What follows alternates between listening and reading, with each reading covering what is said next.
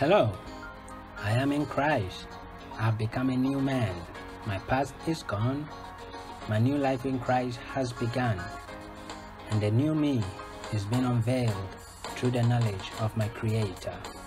This is the Newman Commission with the mandate of revealing Jesus to the world, demonstrating His love to the people. Welcome. Do you like it when people express gratitude to you and perhaps even praise you for something you have done? It improves your relationship with that person, right? God loves for us to express our gratitude and praise to Him. To praise God and express our gratitude to Him enhances our relationship with Him, and our relationship with Him is all that matters. If we conduct ourselves in the right manner, we place ourselves in the right position where we can experience the salvation of God, subject to His timing.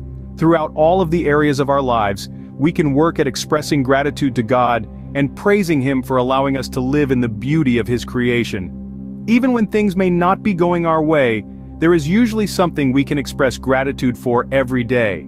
I will praise the name of God with a song and will magnify Him with thanksgiving. If you have not been doing this, why not start now and see what happens? Today ask yourself, am I expressing my gratitude for my life to God every day?